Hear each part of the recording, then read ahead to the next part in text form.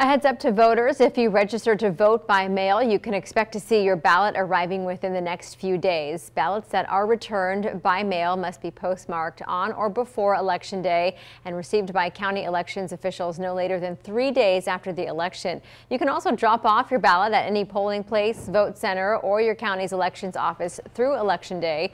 If you registered to vote by mail but do not receive a ballot within the next few days, contact your county elections office.